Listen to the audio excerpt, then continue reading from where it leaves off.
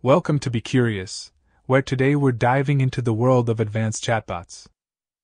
We'll be taking a closer look at Google's latest creation, Sparrow, and comparing it to OpenAI's ChatGPT.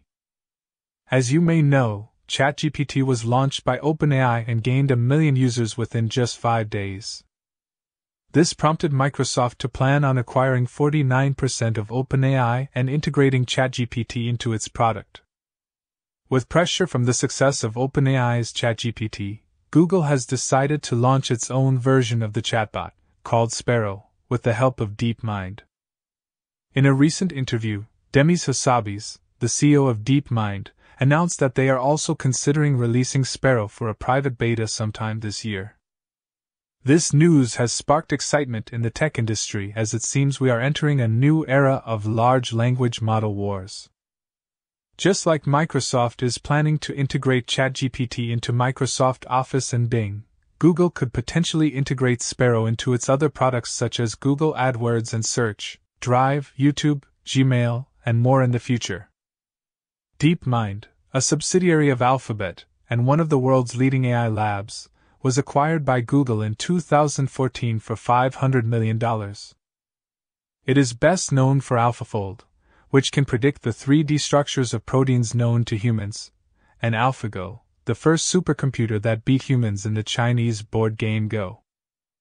According to the CEO of DeepMind, Demis Hassabis, the delay in releasing Sparrow was to work on reinforcement learning based features that ChatGPT lacks, such as citing its sources. One of the key features of Sparrow is that it will be trained on more recent data, which means that it will have knowledge of events and information from 2022 and 2023. This will make it more accurate and reliable when providing information to users. In September 2022, DeepMind discussed efforts to train an AI to communicate in a way that is more helpful, correct, and harmless. They introduced Sparrow, a dialogue agent designed to be useful and reduce the risk of unsafe and inappropriate answers. Sparrow works by answering questions, searching the internet using Google, and replying on its own to an initial human prompt. It is trained using a form of reinforcement learning based on people's feedback. To ensure the model's behavior is safe, the team at DeepMind determined an initial simple set of rules for the model. These rules were informed by studying existing work on language harms and consulting with experts. According to their study participants, Sparrow provides a plausible answer and supports it with evidence 78% of the time when asked a factual question. This brings us closer to safer and more useful AI. This is an exciting time for the tech industry, and the potential for AI to redefine the Internet is immense. We can't wait to see what the future holds for Sparrow and the impact it will have on the industry.